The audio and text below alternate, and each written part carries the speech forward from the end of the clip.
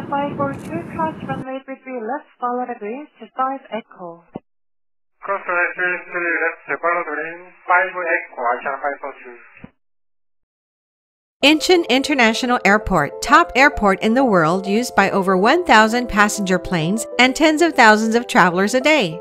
From April 10, 2020, Seoul Regional Office of Aviation Incheon Control Tower began the Follow the Green system, which is a ground light guidance control system that provides 24-hour visual travel path to each aircraft.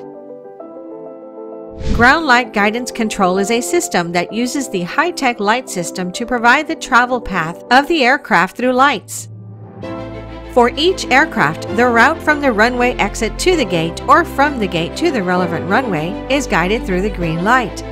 This control method provides intuitive travel path information directly on the taxiway for convenience and safe operation of the aircraft.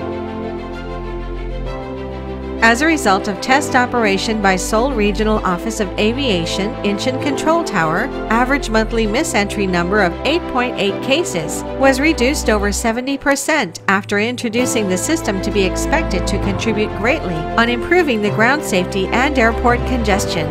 Also, pilots can understand the travel path conveniently and are looking forward introducing this new control method of guidance on complicated taxiway. 주어진 활주로에 착륙한 이후에 이제 지시를 하는 거죠. 어떤 길은 가면 된다 안 된다. 그리고 어떤 길로 가라. 발전하는 그것들이 이제 눈에 보이기 때문에 예, 조종사 입장에서는 참 고마움을 좀 느끼기도 하고. In the last two years, Incheon International Airport improved the light control system to enhance the ASMG CS level to the top international level of 4.5, and the control function and information on the aircraft departure and landing can be seen through one screen to safely perform the role as the Northeast Asia Hub Airport. Incheon International Airport is planning to continue the improvement on the system to provide safe travel to all customers using the airport.